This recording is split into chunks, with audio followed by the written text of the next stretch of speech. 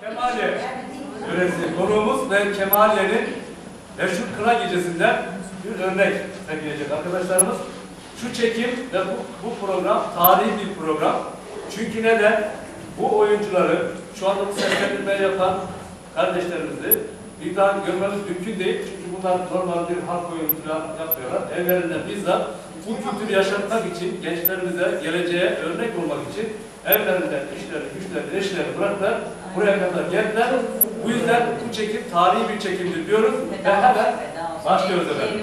Evet, kuvvetli alkışlar.